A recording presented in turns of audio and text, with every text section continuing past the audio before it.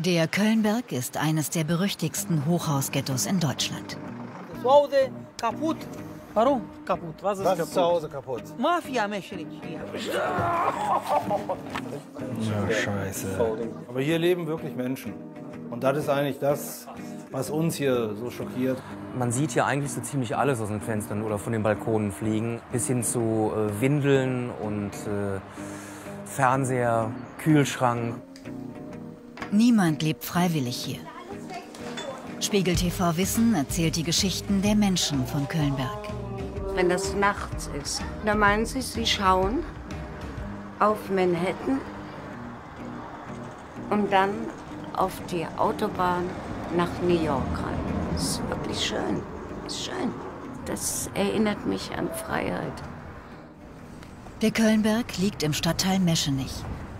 4100 Menschen aus 60 Nationen leben hier. Mittendrin, im Hochhaus 4, eine eigene Polizeiwache. Die Polizei in Köln-Meschenich, Lautra, guten Tag. Wie kann ich Ihnen helfen? Wo ist das Problem? Wolfgang Neidl arbeitet seit vier Jahren hier. Bei seinem Kollegen Thilo Lotterer sind es sogar schon 17. Okay, wiederhören. Dann können wir jetzt mal gucken, was wir heute ja, erledigen. Genau. Was meinst du, sollen wir anfangen? Also, fangen wir mit der an. Wir sollten dann hier den Haftbefehl noch mitnehmen, auf jeden Fall. Die ist wahrscheinlich eh nicht da, aber die reagiert immer auf Nachrichten. Dann haben wir hier den auf jeden Fall, den müssen wir einsperren, der kann nicht zahlen. Ja klar, den kriegen wir wenn sowieso. Und dann nehmen wir noch die Aufenthaltsermittlung mit. Für die beiden gibt es jede Menge zu tun. Bis zu 600 Haftbefehle und Aufenthaltsermittlungen pro Jahr bearbeiten die Beamten. Das ist weit mehr als der Kölner Durchschnitt. Routine kommt am Kölnberg aber nur selten auf. Der erste spontane Einsatz wartet nach wenigen Schritten. Äh, zu, zu, äh, zu, zu Hause, zu Hause kaputt. Warum kaputt? Was ist, Was kaputt? ist zu Hause kaputt? Mafia mächtig hier. Mafia? Ja, wie ich spreche diese, meine Frau. Äh, ja. Zu, verstehst du? Usha. Tür kaputt? Ja, keine Ahnung. Levier, Stange, hier. Tür Eure Wohnung ja. aufgebrochen. Ja, ja. ja. will da rein, da klaut alles. Meine Wo wohnt ihr? Hier? Ja, ja, komm hier. Jetzt. Sollen wir uns das mal angucken? Ja, das gucken wir uns mal an. Gehen wir mal gerade hoch. Einbrüche gehören in der Hochhaussiedlung schon fast zum Alltag. Eine rumänische Familie ist offenbar bestohlen worden, während sie einkaufen war. Doch der Fall ist kompliziert, nicht nur wegen der Sprachschwierigkeiten.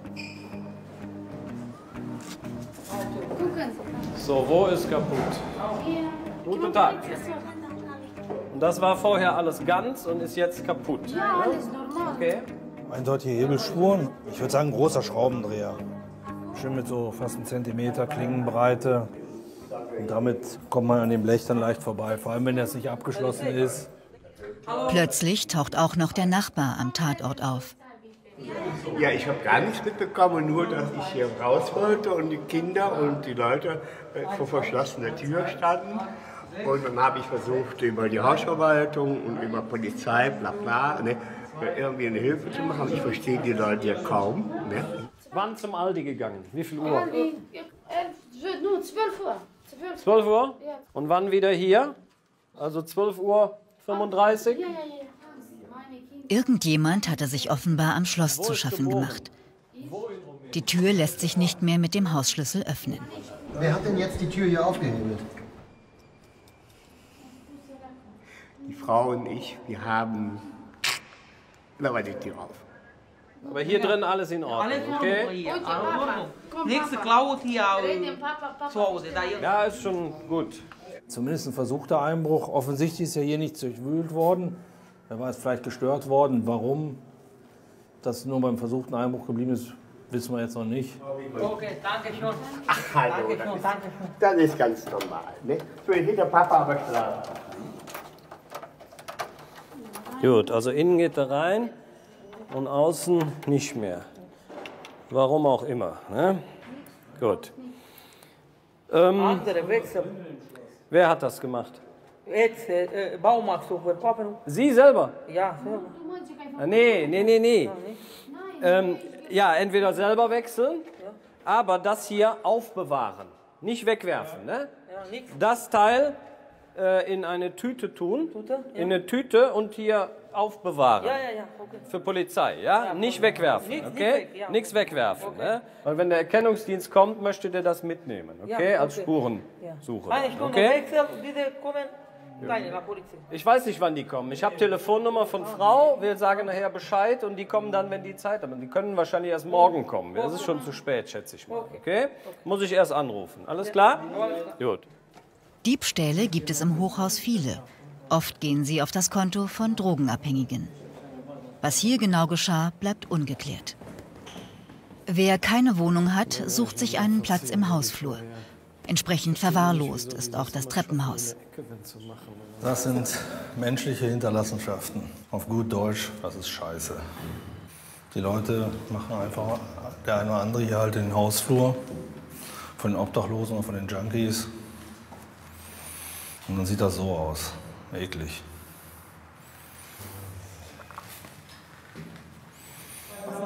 Der Kölnberg ist ein Rückzugsort für gescheiterte Existenzen. Drogenbesteck im Treppenhaus, keine Seltenheit. Das ist so klassisch zum Blowen, das heißt, da wird Heroin draufgelegt, erhitzt und der Rauch wird eingeatmet. Das ist dann nicht, wahrscheinlich nicht ganz so hart vom Kick, wie als wenn man es spritzt, aber das kann ich jetzt auch nicht beurteilen, weil ich es noch nicht probiert habe und es auch nicht probieren werde. Das sind halt Reste von Konsum von Heroin. Nun wartet die Vollstreckung eines Haftbefehls auf die Beamten. So, klack. Danke. Polizei, machen Sie bitte mal auf. Guten Tag. Guten Tag. Ich suche die Frau. Was wegen? Ich habe hier einen Haftbefehl gekriegt für Sie. Und zwar noch über 50 Euro Restgeldstrafe. Das waren ehemals 450 Euro. Da wurden schon 400 Euro bezahlt. Wurden bezahlt. 400 bezahlt, es fehlen noch 50. Okay. Wie was ist das? Dann können Sie mir das bitte sagen. Ja, genau.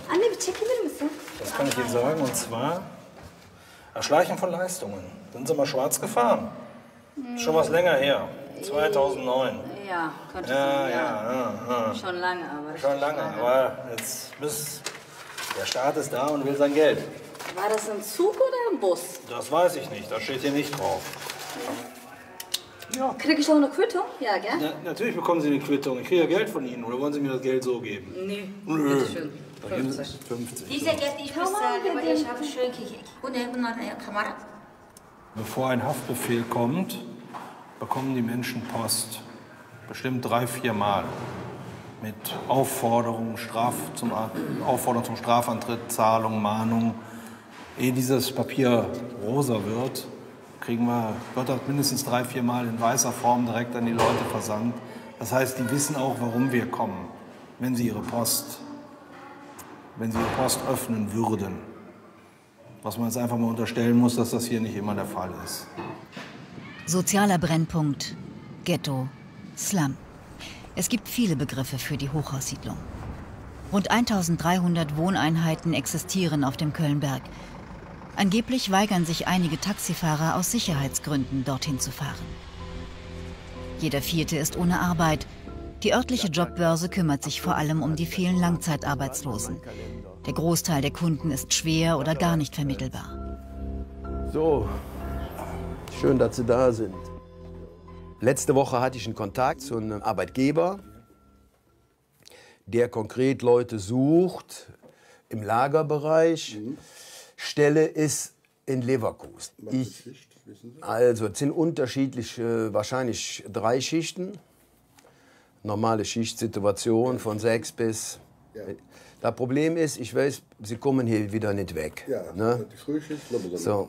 Es ist halt ein Schichtbetrieb, da brauchen wir nicht weiter. Es kann dann sein, dass man so was hinkriegt wie vielleicht im Zweischichtbetrieb. Aber das ist nochmal eine ganz andere Diskussion. Das ist das, was ich jetzt vorhab. Okay?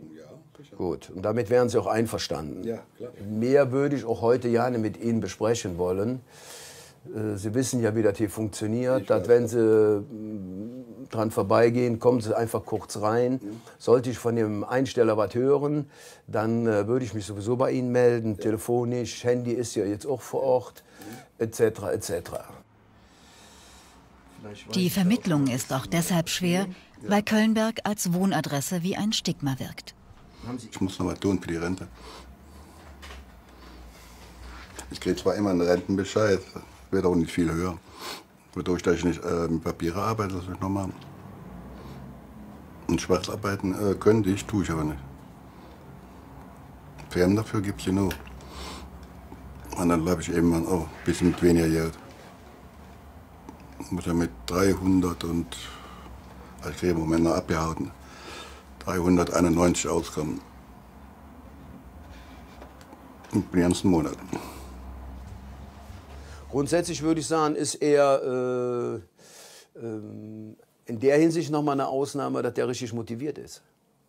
Das muss ich einfach sagen. Bei anderen muss man dieses Moti die Motivation noch mal ein Stück freilegen. Noch mal fragen, hör uns, warum sitzt du überhaupt hier? Was willst du hier? Was ist dein Ding? Ja, da gehst du best, also wenn, wenn, wenn, wenn die sich hier falsch fühlen, dann werden, da passiert alles. Die werden krank ohne Ende, dann fliegen die gelben Scheine auf unseren Schreibtischen rum. Das macht alles keinen Sinn. Die private Jobbörse erhält für jede Vermittlung eines Arbeitslosen Geld vom Jobcenter.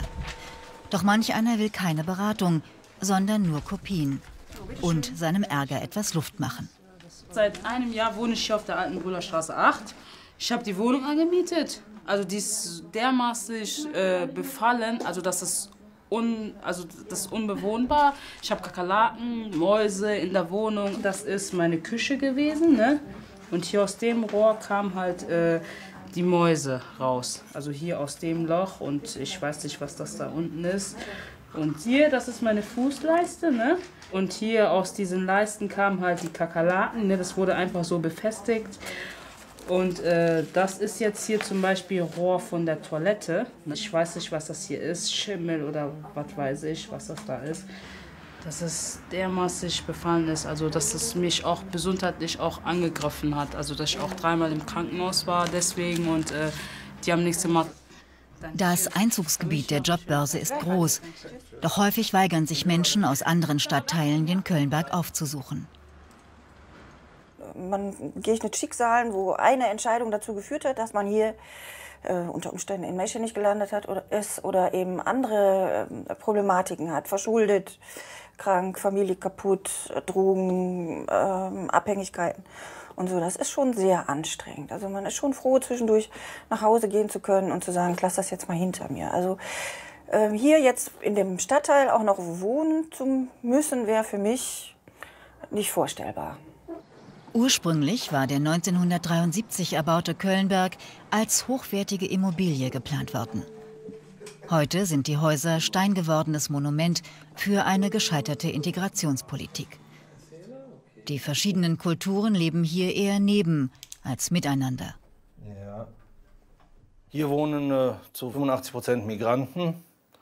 Dann haben wir hier die Deutschen, die hier wohnen, sind aus dem Alkoholikermilieu, aus dem Drogenmilieu, es ist ein klassischer Täterrückzugsraum, würde ich sagen, wo dann halt auch viele aus der Bandenstrukturen Menschen sich hier zurückziehen können und anonym leben. In der Anonymität der Betonstadt können Täter leicht untertauchen. Echte Nachbarschaft gibt es kaum. Plötzlich macht sich Nervosität breit. Lotterer hat eine Wohnung gegenüber der Wache im Visier. Dort könnte ein seit Jahren gesuchter Mann untergetaucht sein. Da habe ich eben gerade Be Bewegung auf dem äh Balkon festgestellt, dass eine männliche Person da lang gegangen ist. Ich gehe davon aus, dass es sich um den Tatverdächtigen handelt, beziehungsweise um die gesuchte Person. Wir werden jetzt äh, darüber gehen, den Eingang des Hauses 8 verposten, warten auf die Kollegen und werden dann zusammen in die Wohnung gehen und gleichzeitig im Rückraum hier absichern, dass er nicht flüchten kann über, durch den Sprung vom Balkon. Lotterer und Neidel sind vorsichtig, denn gegen den Mann liegt ein Haftbefehl wegen schwerer Körperverletzung vor. Zivilfahnder sind zur Verstärkung gekommen. Der Gesuchte ist seit mehr als vier Jahren untergetaucht. Ihm drohen eineinhalb Jahre Knast.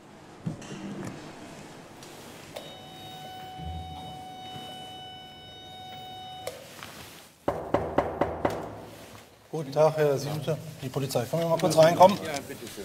Nehmen Sie kurz da Platz. Ja. Nee, lassen Sie alles, lassen Sie alles, wie es ist. Sorry, Sie können sich ja ein Messer nehmen. Bleiben Sie kurz hier. Sorry. Sie sind festgenommen. Lass, bleiben Sie da. Wir haben ein Jahr, sechs Monate offen, Haftbefehl. Deswegen, bitte, ich taste Sie kurz ab. Lassen Sie. Ja, ja, Sie. Ich will nur sehen, dass Sie kein Messer haben. Ich kenne Sie nicht oder sonst was. Wenn Sie ruhig sind, ist alles in Ordnung. Und so lange, bis wir das nicht genau wissen, gucke ich hier gerade rein. So. Die Person nehmen wir jetzt gleich mit, beziehungsweise die Kollegen von der Fahndung werden ihn mitnehmen zum äh, Polizeigewahrsam nach Kalk und von da aus wird er zur JVA Köln verbracht. Aber ist die gesuchte Person? Es ist definitiv gesuchte Person. Die Beamten sind durch Zufall auf die Spur des Gesuchten gekommen. Vor einiger Zeit hatte er sich ein Taxi zum Kölnberg genommen und die Zeche geprellt. Ein folgenschwerer Fehler. Der Mann vergaß sein Portemonnaie samt Ausweis im Wagen. Offenbar wohnte er schon länger in der Siedlung, unbemerkt von der Polizei. Das ist hier natürlich auch ein Ort, wo man sehr gut untertauchen kann. Wenn man sich hier nicht anmeldet, sehr unauffällig zurückhaltend lebt, trotz der Polizeiwache. Das ist anonym, die Nachbarn interessiert nichts, das haben Sie ja auch schon mitgekriegt, die Nachbarn interessiert es auch nicht, was der andere macht. Häufig stehen an den Briefkästen keine Namensschilder. Behördliche Post kann nicht zugestellt werden. Seit der EU-Arbeitnehmerfreizügigkeit kommen immer mehr Menschen aus Rumänien und Bulgarien auch auf den Kölnberg. Viele bleiben anonym, ein weiteres Problem für die Beamten. Einen Großteil der Zeit verbringen sie ohnehin mit polizeilicher Sozialarbeit. Irgendwas ist immer.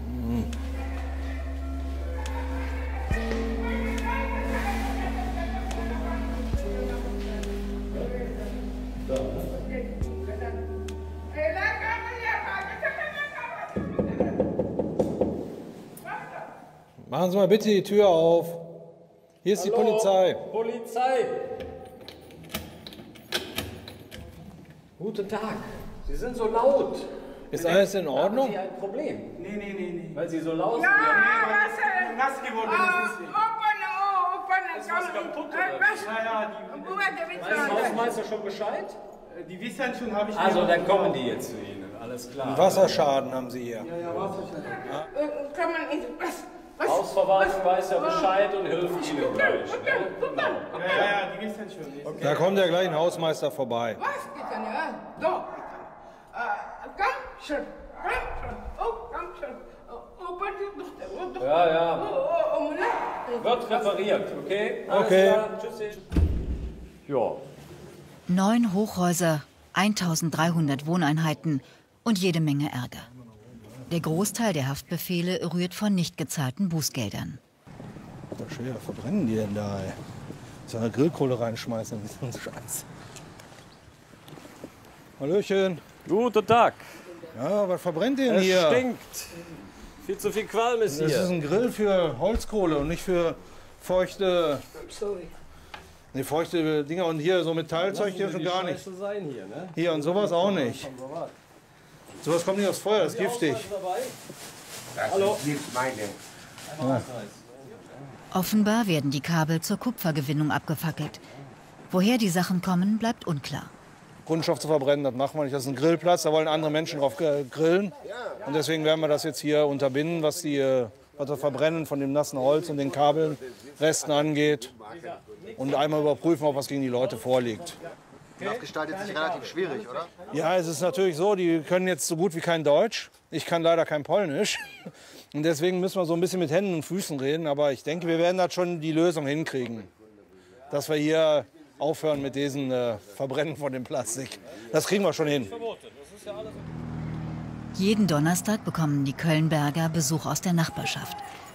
Ehrenamtliche Helfer haben den sogenannten Brotkorb gegründet. Sie sammeln Lebensmittel und verteilen sie an die Bewohner. Öl, Nudeln, Suppen, Reis und Äpfel. Ne? Ja, das ist immer, was ist hier drunter? Ist auch Reis. Ja. Also Tropfen auf der heißen Stein. Nee, Michel. Nee. Du kommst nicht durch die Tür, wenn du das so lässt. Auch Anwohner packen mit an. Für sie geht es hier um viel mehr als um Lebensmittel. Wenn ich das hier nicht hätte, würde ich bei mir in der Wohnung hängen, Fernseh gucken, PC zocken. Somit habe ich eine Beschäftigung, ich komme mit Leuten in Kontakt.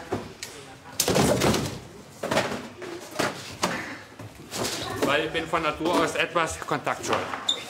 Und Das ist hier, hier muss der Kontakt haben, anders da geht's nicht. Der Andrang ist groß. Fast immer kommen über 100 Menschen.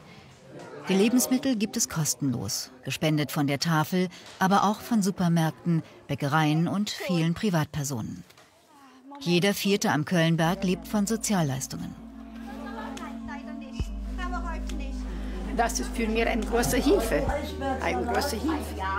Und das sind sehr, sehr gute Menschen. Ich bin sehr zufrieden. Wenn ich komme, machen sie mir alles, was sie können. Nicht immer bleibt es friedlich. Was ist das hier?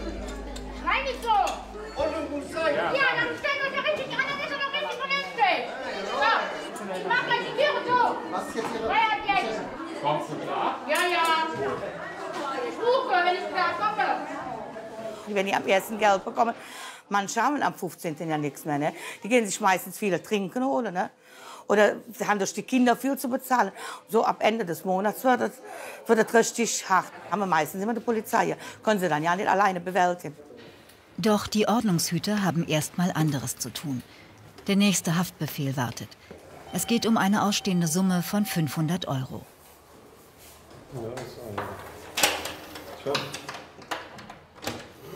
Schönen guten Tag. Wir müssen mal reinkommen. Wir sind von der Polizei. Ich muss jetzt zur Krankengymnastik. Nee, Sie kommen mit uns mit. So. Ich bin ja. Sie sind gerade am Duschen? Ja, ist okay. Ziehen Sie. Sie kommen mit. Aber das ist, ich habe 500 Euro bezahlt. Wir gucken Das gleich mal. Ja. Wir Sie gucken ziehen gleich sich mal. an. Wir können das jetzt hier nicht klären. Wir müssen auf Ja, unsere okay, ich Dienststelle gehen. 10. Ja, Einmal 10 ist neu, Ich aber hab- die ich hab- 500 ist noch neuer. Machen wir gleich alles in müssen Ruhe. wir- ne? Deswegen, wir gehen jetzt zusammen dahin. Wir kommen jetzt auf jeden Fall erstmal mit zur Wache.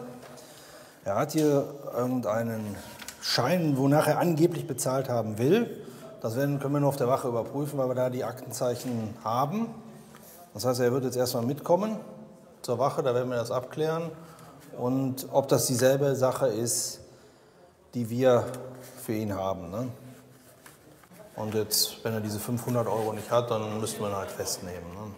Tun Sie erstmal vorsichtshalber Sachen mitnehmen, die wichtig sind für Sie. Falls wir Sie gleich doch ins Gefängnis tun müssen, Ja. nehmen Sie Ihr Ausweis mit, Geld und so weiter.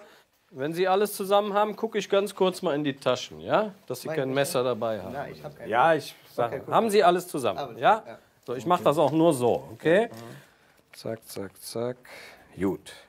So, haben wir So, jetzt? Cappy Hammer. Ja, gucken Sie mal. Ja, das ist okay für mich, kein Problem. Einen Moment. Einmal Licht noch im Wohnzimmer aus. Ausmachen. So. Abschließen noch oder nicht? Einfach so. Einfach so, nicht abschließen. Ihre Sache. Kommen Sie langsam hinter mir her. Erst auf der Wache wird sich zeigen, ob seine Geschichte stimmt oder ob der Mann womöglich gleich ins Gefängnis muss.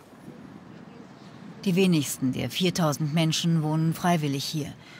Doch wer kein Geld hat, der bleibt. Denn die Miete ist mit rund 6 Euro pro Quadratmeter für Kölner Verhältnisse günstig. Auch die 74-jährige Mariana, eine Freifrau mit wohlklingendem Nachnamen, wohnt hier. Sie entstammt einem alten schlesischen Adelsgeschlecht. Heute lebt sie auf 40 Quadratmetern für 450 Euro warm. Wir sind hier in diesem Trakt, ich nehme an, nicht mehr als acht Deutsche. Nicht mehr. So. Alles Gestrandete. Entweder dem Alkohol verfallen oder durch Scheidung oder irgendwas. Hier lebt keiner freiwillig von den Deutschen. Kein. Sagen Sie mir einen Deutscher, der hier freiwillig lebt. Den möchte ich gerne kennenlernen. Die Wohnung vollgestellt mit Antiquitäten aus besseren Zeiten. Ein Gegenprogramm zur Tristesse vor der Tür. Wenn die Miete abgezogen ist und der Strom abgezogen ist, da habe ich im Monat 390 Euro. So. Und mit meiner Rente kann ich mir keine Wohnung in einem normalen Viertel leisten. Kann ich nicht. So einfach. Wer denkt in der Jugend darüber nach, äh, äh, dass man so alt wird? Wer? Keiner. Hund Äffchen wird von der Nachbarin ausgeführt. Die Freifrau selbst verreist nur noch in Gedanken. Wenn das beleuchtet ist, wenn das nachts ist. Und da meinen Sie, Sie wohnen im 32. Stock und schauen auf Manhattan und dann auf die Autobahn nach New York rein. Das ist wirklich schön. Das ist schön. Diese Freiheit, das, das erinnert mich an Freiheit. Ja. Auf der Polizeiwache müssen Lotterer und Neidel nun die Angaben des Verhafteten prüfen. Nehmen Sie hier mal Platz, bitte. Immer wieder kommt es vor, dass Haftbefehle noch ausgeschrieben sind, obwohl die Verurteilten ihre Geldstrafen bereits gezahlt haben. So ist es auch in diesem Fall. So. War derselbe? Er ist auch mittlerweile gelöscht. Das heißt, 10 Euro bleiben noch offen. Dann machen wir die 10 Euro jetzt sofort. Dann ist das erledigt. Das andere ist dann auch erledigt. Der Mann hat die Wahrheit erzählt und darf nach Hause gehen. Die größten Probleme am Kölnberg sind die illegale Prostitution und der Drogenhandel. Nur ganz selten gelingt es, die Hintermänner zu fassen. Zu den Kunden der Dealer gehören auch viele heroinsüchtige Frauen, die auf dem Straßenstrich vor dem Haus anschaffen. So wie Sabine. Ich bin jetzt 43, ich habe mit 10 angefangen zu trinken, ne? exzessiv. Mit 12 habe ich erst mal mir die Nadel reingehauen. Ich habe immer Drogen genommen, immer irgendetwas. Ne? Ich habe äh, jetzt innerhalb von fünf Jahren aufgehört mit dem Alkohol, Tabletten, mit dem Spritzen und äh, ja, jetzt äh, eben halt kommt noch der Rest. Ne? Das ist schon viel. Ne? Und dann eben halt Wohnung. Ne? Das ist das Schwierigste. Ne? In Köln ist Wohnungsnot, das wisst ihr bestimmt auch. Und dann, wenn ich dann daherkomme, ne, dann sind die da nicht gerade begeistert. Ne? Ja, so ist das. Ne? Mal schläft Sabine draußen, mal auf irgendeiner Couch. Die Sucht nach Heroin bestimmt den Tagesablauf. Ich stehe auf, dann äh, gucke ich erstmal, dass ich mir ein paar Mark hier schnurre. Wenn ich dann ein bisschen fit bin, dann gehe ich hier auf den Straßenstrich, ne? mache einen Freier, ja, und dann geht es so weiter. Ne? Also Kunde was kaufen, konsumieren, und das äh, eigentlich 24 Stunden lang. Ne? Ob Ruhestörung oder Nachbarschaftsstreitigkeiten, die Beamten Lotterer und Neidel sind immer im Einsatz. Auch bei skurrilen Vorkommnissen. Ah, Hat einer irgendwo oben, wenn es schräg hoch, äh, macht gerade einer seinen Balkon sauber. Da oben, man sieht ihn genau, da wo, wo es ist. Echt kölnisch Wasser von oben. Erklärungsversuche. Dann läuft es genauso runter. Ne? Entweder wird geputzt oder man ärgert sich über den Kiosk, der da ist und will damit die Leute da ärgern. Ne? Der Kioskbesitzer kann nicht wirklich weiterhelfen. Morgen 11 Uhr Anfang. Heute Morgen? Ja. Immer wieder oder? Immer ein bisschen ruhig bleiben. Jetzt wieder, jetzt halbe Stunde immer weiter Wasser kommt. Möglicherweise ist es ein Wasserrohrbruch. Da in der betroffenen Wohnung aber niemand öffnet, rufen die Beamten den Hausmeister zur Hilfe. Mit einem speziellen Bohrer wird das Türschloss geknackt.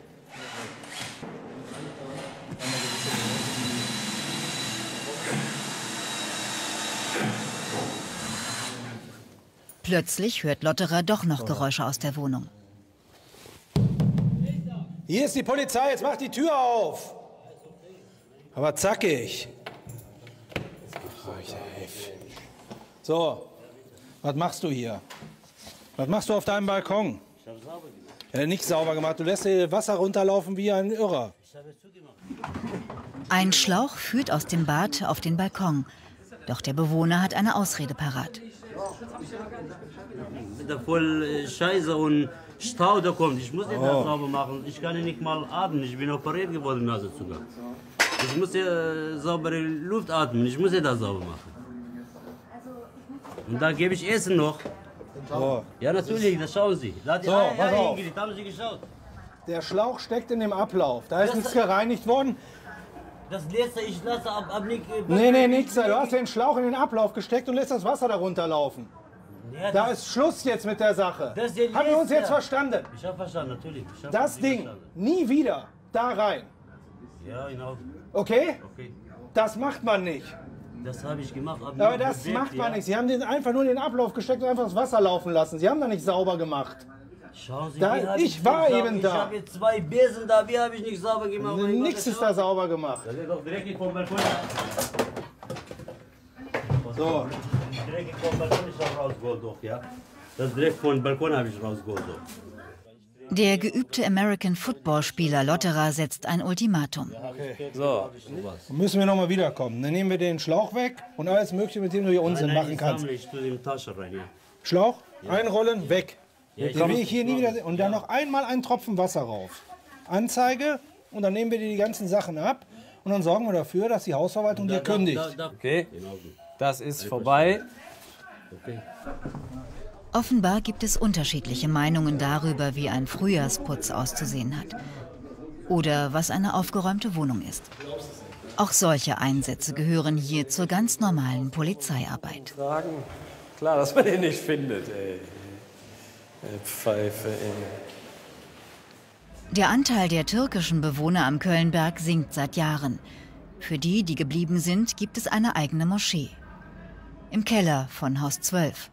سمع الله لمن حمده الله أكبر الله أكبر الحمد لله رب العالمين Als die Moschee in den 70ern eingeweiht wurde, waren die Muslime froh, überhaupt eine Möglichkeit zum Gebet zu haben. Heute ist der Zustand der Räume zu einem echten Problem geworden. Das sind die ganzen Kanäle von Haus 12. Ich rede jetzt vom WC-Kanäle. Die gehen einmal im Monat, ist Undichkeit, kommt eine Reparatur vor.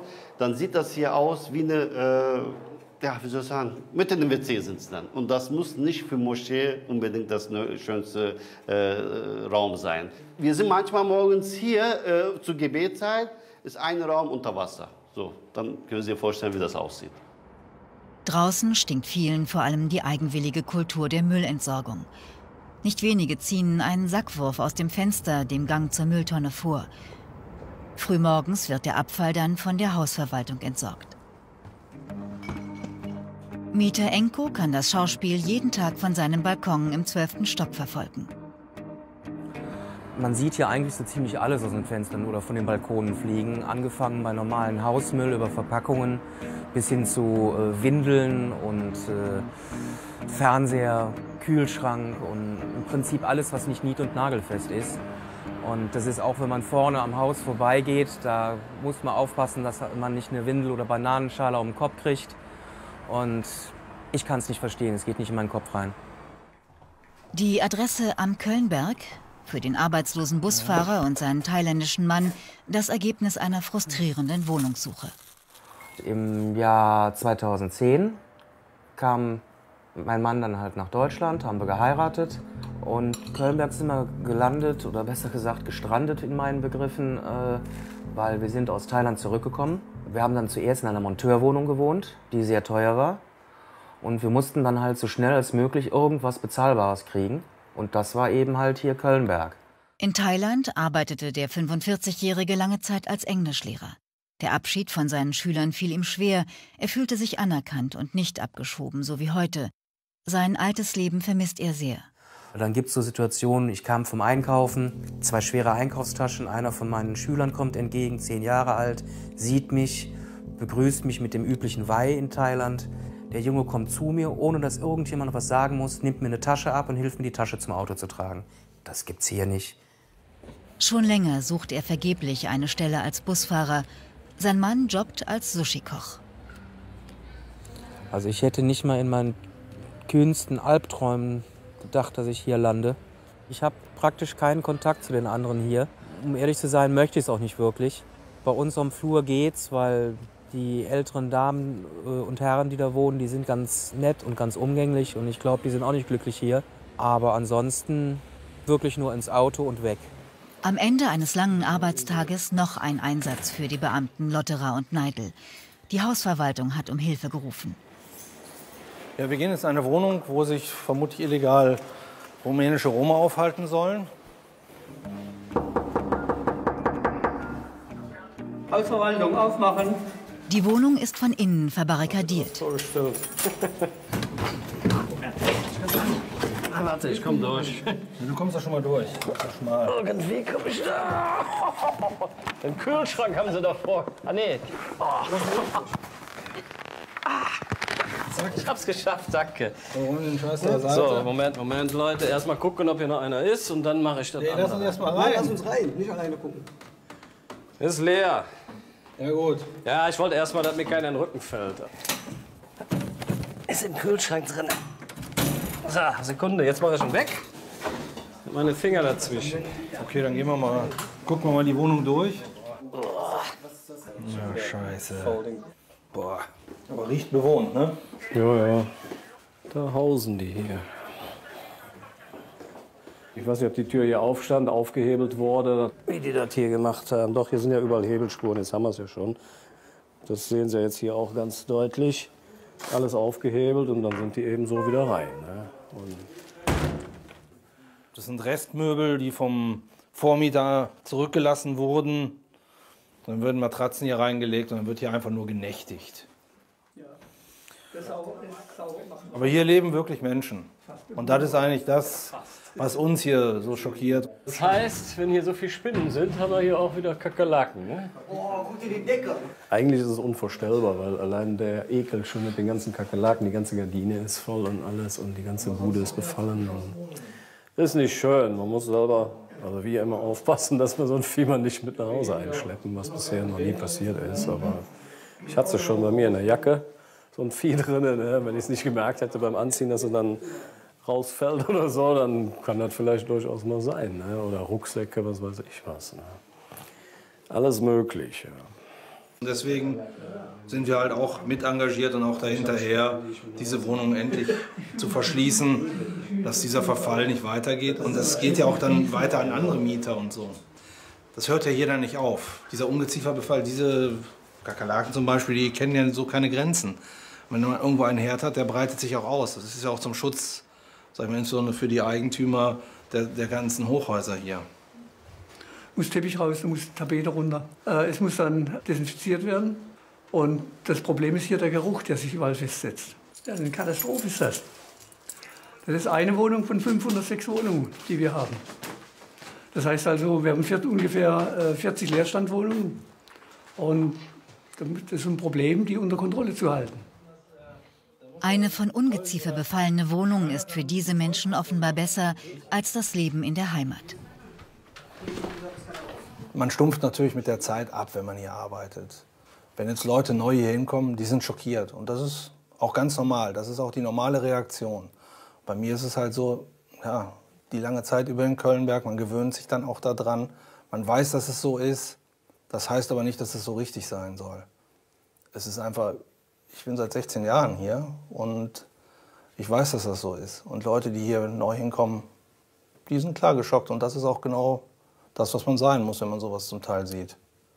Weil es sollte nicht der Regelfall sein. So, und ab zur nächsten. Auf zur nächsten Irgendwann wurde es dann auch Thilo Lotterer am Kölnberg zu viel. Wenige Wochen später wechselt er die Wache in einen ruhigeren Bezirk.